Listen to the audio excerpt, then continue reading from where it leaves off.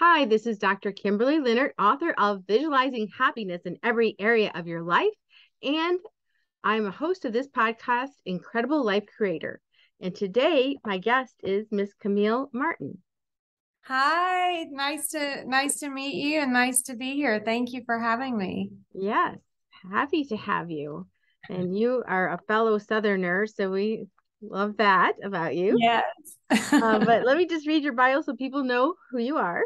Sure. So, uh, Camille Martin is a registered dietitian, health blogger, and senior technical editor for the Centers for Disease Control and Prevention. She is also a former chronic dieter who wasted nearly 25 years of her life on a diet. In her book, Love to Lose, Love Your Life and Watch the Weight Lose Itself, she uses what she learned on her own weight loss journey to help other women stop wasting their lives on a diet, embrace everything about themselves, achieve what they're truly capable of, and lose weight in the process.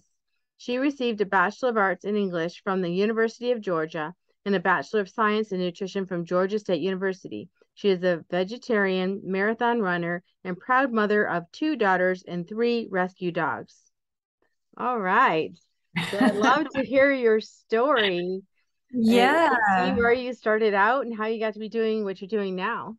Yeah, definitely. Well, um, I started, my focus is to help women lose weight without dieting, but even more than that, to help them start working toward their full potential. And in that um, pursuit of passion and excitement and joy of setting a larger goal for themselves rather than dieting, you end up transforming how you feel on your on the inside, which helps you naturally make better choices.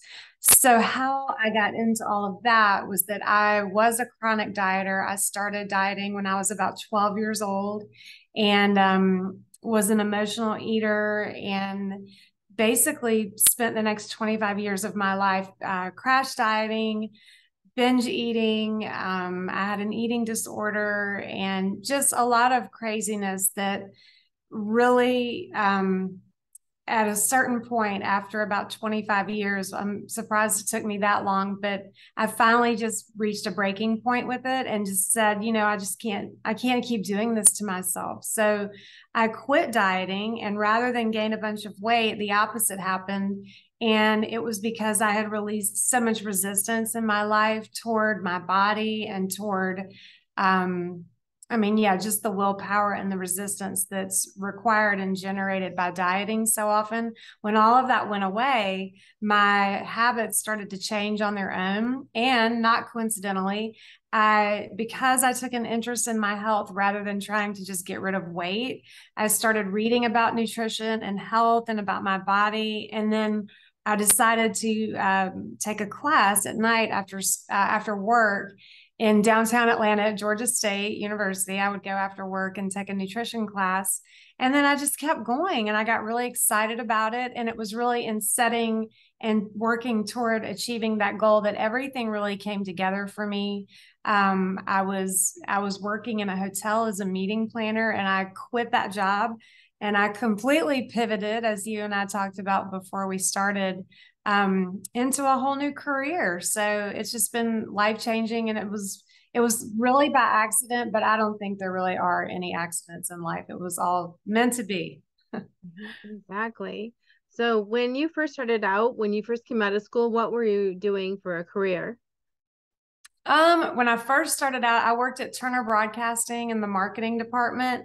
Um, and then, gosh, I had so many different jobs. I really wanted to just find that one thing that I would be really good at, that I would be passionate about.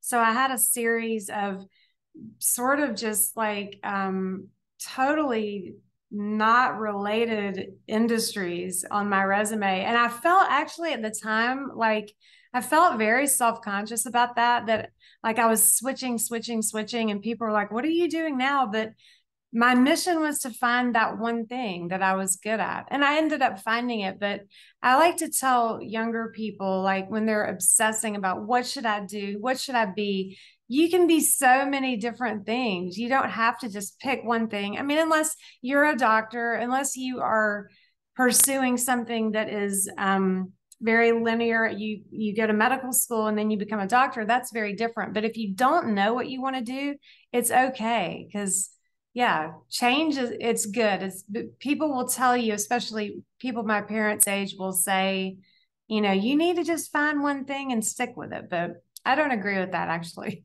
Mm-hmm. yeah. And have you found that the different skills you've learned in these various modalities has that helped you with what you're doing now? Yeah, um, let's see. And I think um, most of all, what's helped me in all of those different jobs is having to start over and having to, um, you know, learn a new skill or face a fear or meet all new people. That's a great set of skills to just, you know, for life, like just to face fears and start over and not be afraid to keep trying. But, um, but yeah, in terms of like specific career skills, um, they were all pretty different. Let's see, I was a hotel meeting planner.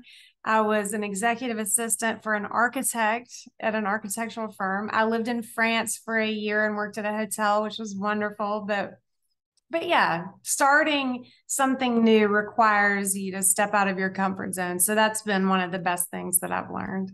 Mm-hmm. Yeah, and that is so important because many people are afraid to make those changes.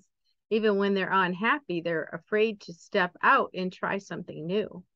Yeah, I know a lot of people who are, you know, miserable in their jobs and it's easier said than done. Like, you know, life's too short. You don't have to do something you hate because it feels very much like you're tied to it, you know, financially or for health insurance or I'm too old to make a switch. You're never too old. That is something that I want people to know is that I switched careers when I was, you know, I think I was 33, 34 maybe, mm-hmm. um, and became a dietitian. And actually, I have to say, my my career, I am a dietitian and I do help women and I have my side business, but my career now and for 19 years has been to be a technical writer and an editor at the CDC, which is I mean, not necessarily connected to me teaching women, you know, how to lose weight without dieting or um, being an actual dietitian. I have medical knowledge and uh, public health knowledge, which is why I got hired. But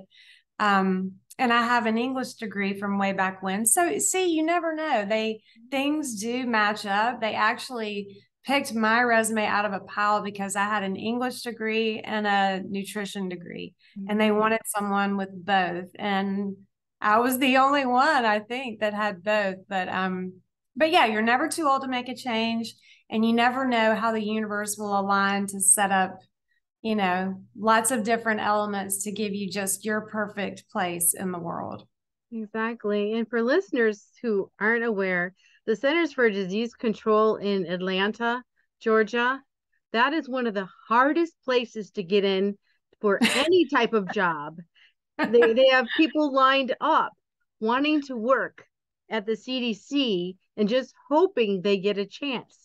Oh, well, it yeah, it wasn't easy to get in. I mean, it's not you can't know somebody who's going to get you an interview. It's all like, you know, you are thrown in the hat with everybody, but it's a wonderful place to work. And you know how I got in there actually is that um I decided while I was in school that I'd always had a fascination with the CDC and I thought, well, I wonder if they have internships. And, you know, I'm 33 and I'm thinking, you know, well, if they do, it's going to be for people who have a PhD from Harvard. But I applied anyway, and I ended up getting this internship to be a proofreader at this new journal. And so when I graduated and got my um, my dietetics license, they offered me a job. So it, it really, to me, it's like even if if someone had told me that I would have this job, I would have never had the courage. I would have said, There's no way that I would get a job there because I don't have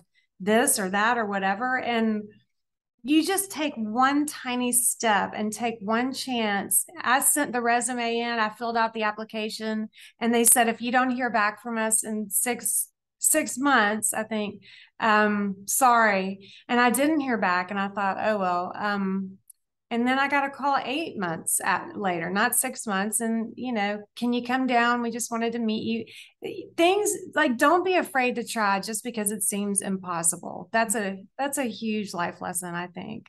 That is a huge life lesson. And even as a young person, you know, you actually had the confidence to go from job to job.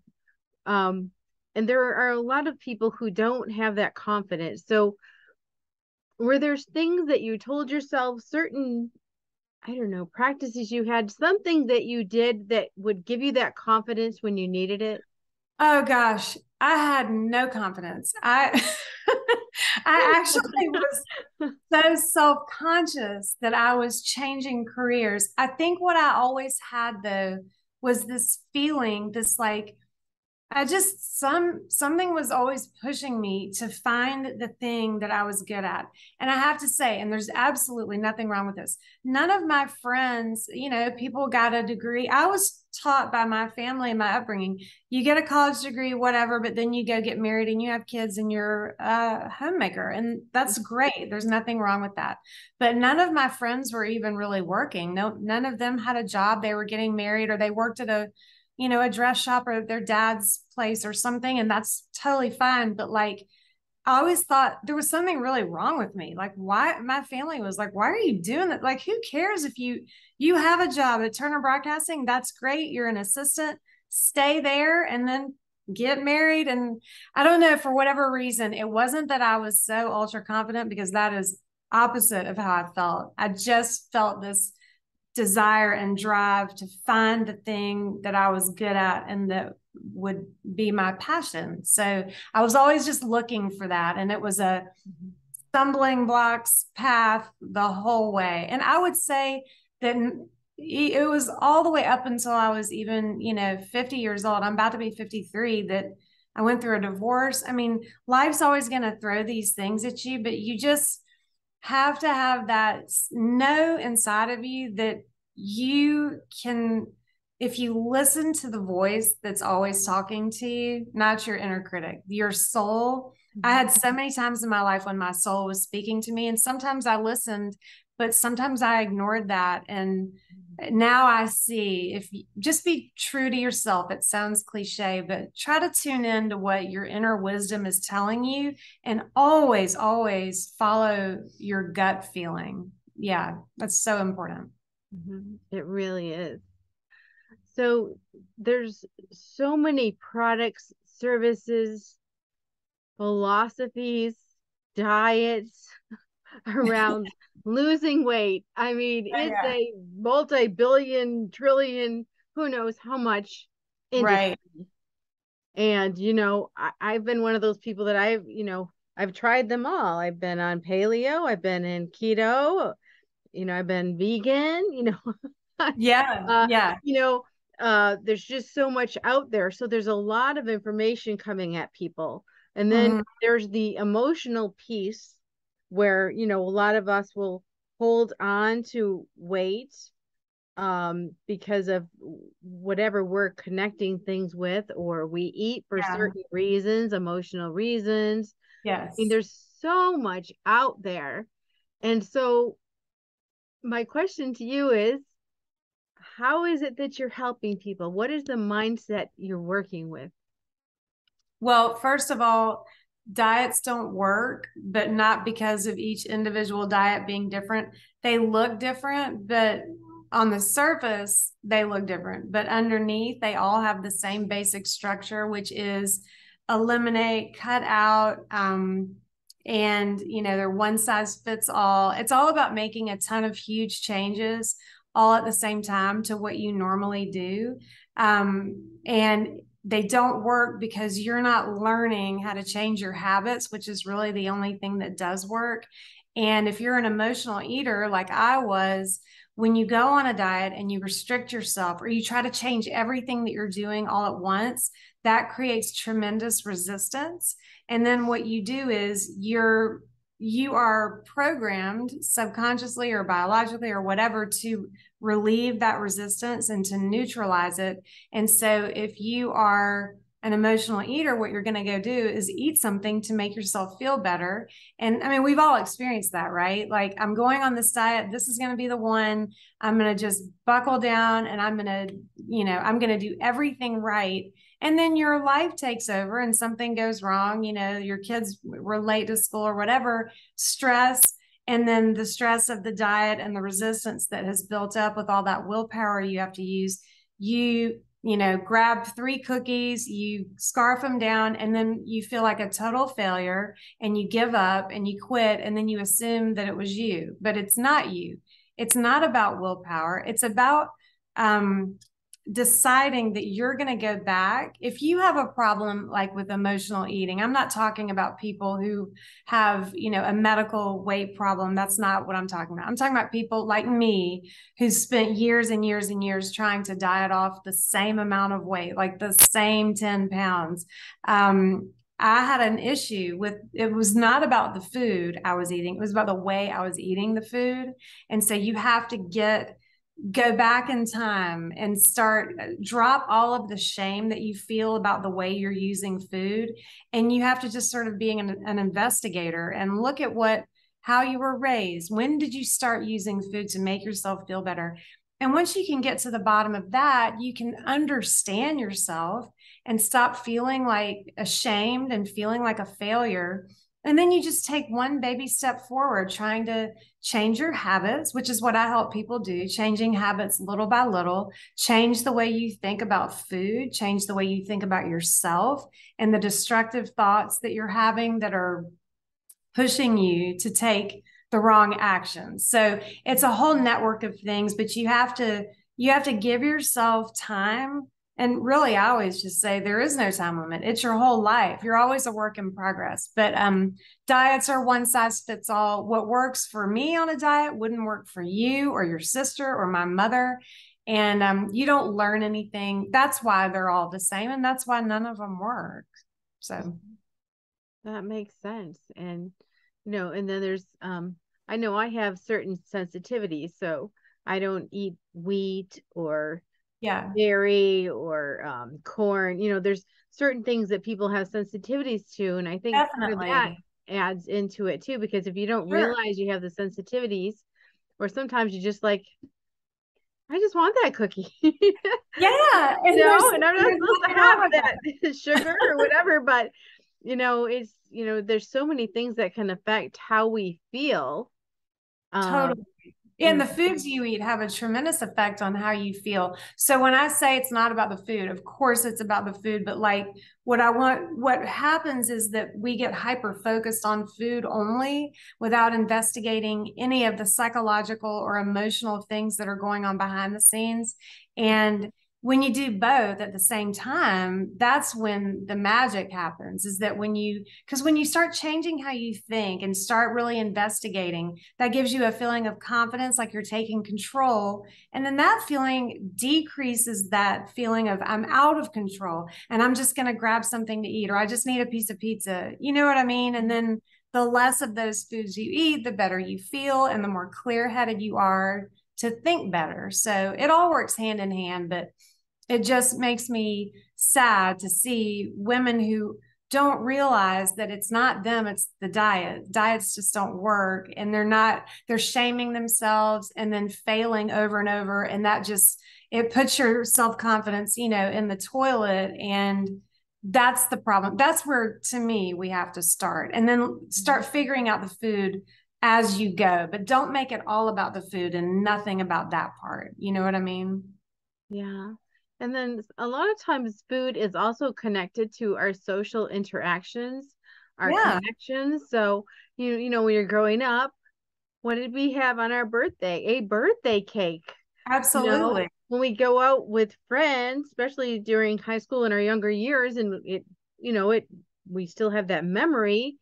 Well, we went went and had pizza after the game. You know, yeah. All of a yeah. sudden, the happy me- you want you still want the happy memories but there's right. no birthday cake and there's no pizza. so how do we fill in the gap there? How do we enjoy those social interactions when everyone else is eating the things that we're not eating? Well, I think that's the thing. I mean, if you're not eating those foods because you have a, a biological sensitivity and or an intolerance, that's different. Um, but I can just speak from the side of it where you're you can eat. I I always say you literally can eat whatever you want. You really can. It's just food. You are in control of it just because you eat one cookie doesn't mean you have to eat the whole box or there's something to be afraid of that you're going to lose control. You have to get to a place of, you know what? Tonight's girls' night out. I'm trying not to eat carbs, but you know what? I mean, I can eat carbs if I want to, or I don't have to. We're making it so like this weighted thing, like where it's this like I don't even know how to put it, but like it's the biggest deal ever. It is not a big deal. If you're trying to cut carbs out of your diet, you know, for a little while, or if you're trying to decrease the amount of carbs, and then you go out and it's someone's birthday and they have birthday cake and you have a slice, you're not a failure. You haven't completely, you know, eh, like it's not over. Like you can still pick yourself back up tomorrow and keep going but like why are you eliminating carbs? Are you doing it because you want to see if you're if you feel better without them? That's great. Are you doing it to cut calories or because a diet told you that you're not allowed to eat carbs? That's where the issue is. You know what i mean? Like you have complete control food has no power over you and you can eat it or you cannot eat it. It's not a big deal, but we're making it this loaded thing mm-hmm. where we feel we're ramping up this feeling of like I'm out of control around food, and nothing could be further from the truth. Mm-hmm. And talk about just the the the dieting, that dieting cycle, and then self image because I think every uh I can only speak for women, but every woman has stood in front of the mirror and decided there was some part of her body that was not acceptable or or your whole body. How about your whole, whole body? body is not acceptable. and yeah. I mean, I I remember starting dieting when I was, I don't know, 12, 13. I wasn't yeah. overweight, but I thought I was. Exactly. Know? Yeah. Well, it's it's our culture, it's the media, of course, and we know all of that, but um, it doesn't take away. I still, even though I'm teaching this and preaching this, I still mm-hmm. wake up every morning and I think, you know, oh gosh, you know, what does my stomach look like today? What did I eat last night? And then I have to just say, cut. You know, that's it's just that's that old tape that plays in my head because it's been there since I was 12. Um, but yeah, that won't ever leave me. And I know every woman is familiar with that. And it's just, there's no way around it because we're just so inundated with those messages from um, cultural messages and media messages.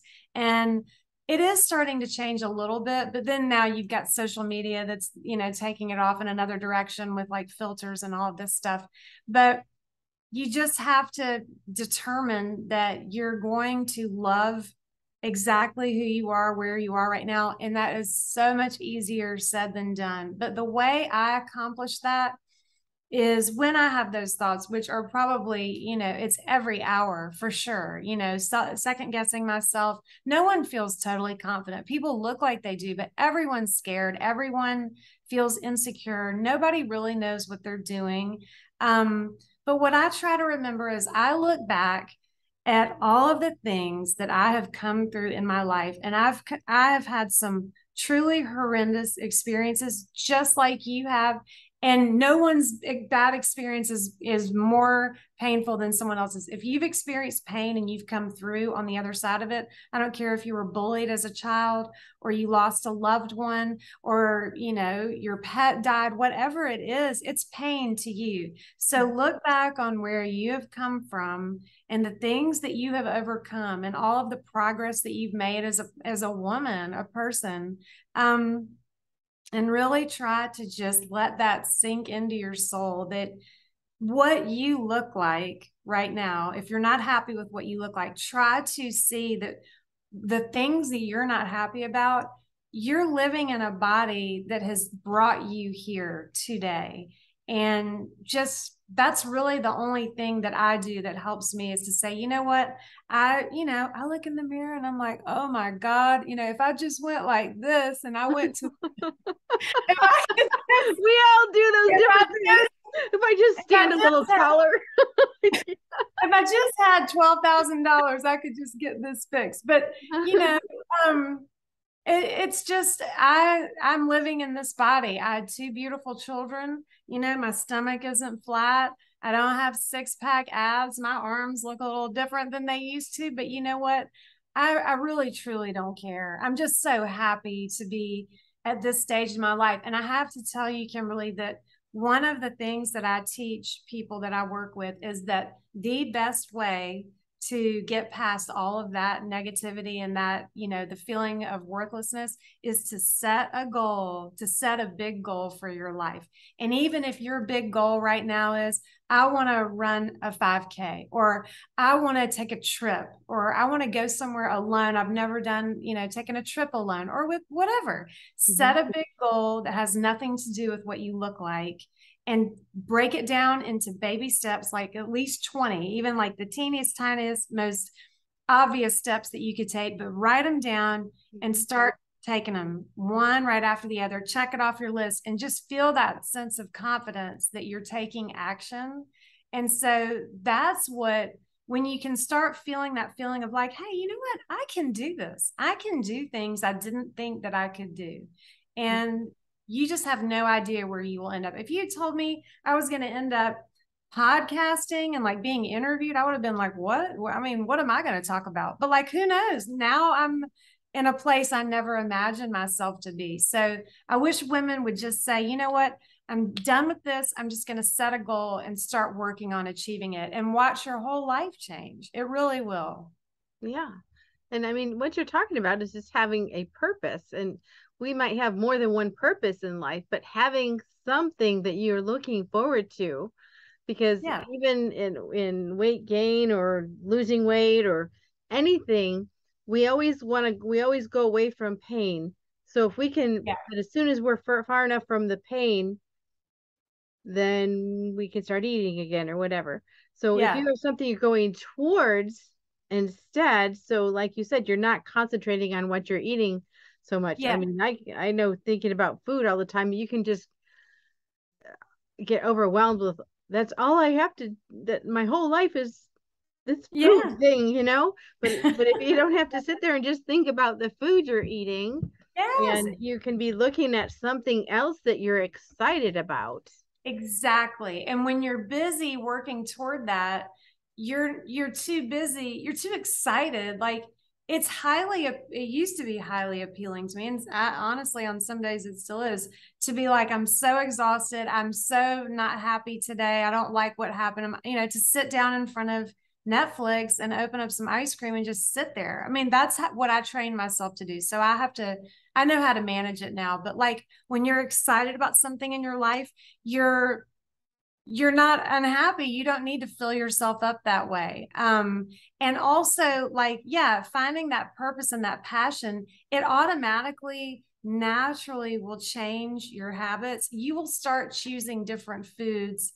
Um it just it's a process that happens and i don't know exactly why it works but that's what happened to me. I went from drinking diet dr pepper all day long at work no water. We didn't used to drink water. I don't know where, I don't know when that mm-hmm. happened, but mm-hmm. I drank Diet Dr. Pepper and I would come home and eat a lean cuisine and then like try to get on my treadmill and run. And it's like, once I started like getting an interest in health and like maybe I'll just learn about it, things just opened up, you know?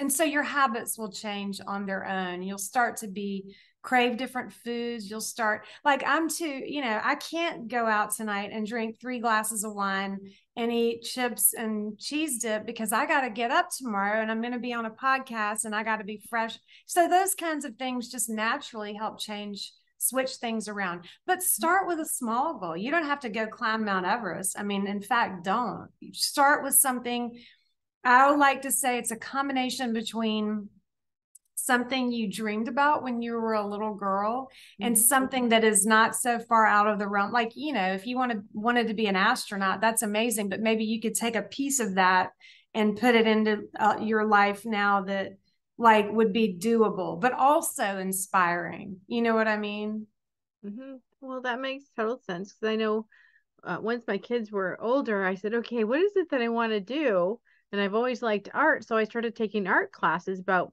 five six years ago. Awesome. And that you know that is something that I look forward to, and it's something I can do whenever I have time or when I you know want to, and it fulfills me. And it's yeah. just that little little thing. So it doesn't, That's like amazing. you said, it doesn't have to be a big thing. No, and yeah, uh, did you paint that the the um, background that you've got, no, or not this one? That's no. just the background. Uh huh. yeah, just a um, but yeah, it does being getting that nurturing creative space also is a great way to do it. I just I'm reading a book right now. It's called Find Your Unicorn Space. Have you heard mm-hmm. of that? No, but it sounds great. it's really good. Um, I think the name, the author's name is Eve Rodsky. I heard about it from Reese Witherspoon's book club. But um, so for anyone who's listening, if you're looking to find that uh, an activity that you know makes you feel creatively fulfilled and um there's more to it than that. It's like she's saying that creativity is not an option. Like we all need that. So it's a really good book. I recommend it. Great. So i was wondering is there anything you do every day like that some people have a morning routine? Is there anything you do every day that just sets you for the day to center yeah. you get you ready definitely i get up i'm an extreme morning person um so I get up at about four. I have to get up to, I have to have that time where I have my coffee and light my candle and read something inspiring. Truly, that is, I just posted about this on um, Instagram.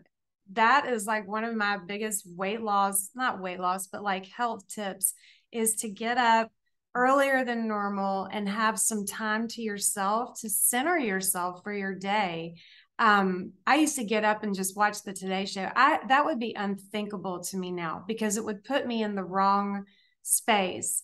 Mm-hmm. Um, watching news and things that are destructive, and you know, you can keep up without doing that. But the mm-hmm. the morning time I find is like that when you're in the dark and it's peaceful and you're just alone with your thoughts you will if you start listening i mean i actually just sit there and go okay universe I, give me my instructions for the day. What what's today about? What do i need to focus on? And you'll just be amazed at the at what you hear if you tune in. But that's what i do every morning. I cannot roll out of the bed and start my day or i would be it would be a disaster. And some days it's a disaster anyways but i know for sure if i don't have that time that it would be. Makes sense. So how do you work with people do you have an office where you work or you're working online no, I'm online. My business is online only. And I used to work, do private coaching, but I just don't do that anymore. I just, um, I've gotten so busy where I don't have the time to do that. But I'm very active on Instagram and um, I'm I write a blog every week and I film videos. I have a YouTube channel. So if anybody wants to go head over to my website you can find any of those things and access my my content that way but i'm always available to answer questions so if anyone ever wants to email me and ask me questions i'm totally here to answer anything and help anybody the, any way they need mm-hmm. and what is your website and how do people find you on social media sure my website is camille martin and that's c-a-m-i-l-l-e Martin, M A R T I N, and then RD for registered dietitian.com. And then um, all of my social media handles are at the bottom of the page. Okay, great. Yeah, I have those. Those will be in the show notes. So okay, thank you. yeah. Yeah. And um, any um, else you wanted to share about how yeah. Yeah. You know, the what I always like to leave women with, and I'm sure men are listening too, but especially for the women who feel, you know, demoralized or like, you know, is it too late for me? Or sort of like you've lost yourself. I just have one one thing that you need to do it's what i just said pick a goal go sit outside somewhere when it's a pretty day get a journal out and just let your mind wander and think of something that really used to bring you joy, like what you were saying about painting or traveling or music or business, if you wanted to be, you know, in business somehow, and write down lots of different ideas of things. Like, don't censor yourself. And then pick one that feels like it most resonates with you. And then take another sheet of paper, write that goal at the top, and list. Um, so, for example, if you wanted to learn to speak a foreign language, I mean, you could write at the top of the list, go to Barnes and Noble and buy a book. Like that's so easy, but the easier the better. And then just start checking them off and just watch your whole life transform. That's what I want people to walk away with. And you are not your body. We are all powerful. We don't even know, we haven't even gotten a glimpse of what we are actually capable of. So never give up. Everyone's scared, everyone's afraid, and you can do it. If I can do what I've done, then anybody can. Beautiful. Thank you. So now I have a personal question. What gives okay. you the most happiness and fulfillment in your life at this point? Well, definitely my daughters um, and hanging out with them and laughing and having fun. Um, just connecting with people. We did, I have to say, just adopt a rescue um a min pin do you know what kind of dogs those are it's like a doberman pinscher but they're just like this big and they're little so little and her name is jessie and she's just so much fun but um but yeah my baby girls and then my dogs and yeah, I have a boyfriend who I love dearly and we're super happy. So it's my connections with people and animals. Yeah, it's beautiful. Well, thank you so much for being on the podcast today and for sharing all your wisdom. Well, I enjoyed it. Thank you so much for having me, Kimberley. Yeah. So I have one last question. Oh, what okay. is your best advice on living an incredible, amazing life? Trust your gut. Whenever your gut is telling you something, your head might be saying, no, that's not true. But however you feel, you're right. And you need to tune into that. Beautiful. Well, thank you so much, Camille. Thank you, Kimberley. We'll talk to you again soon. Okay.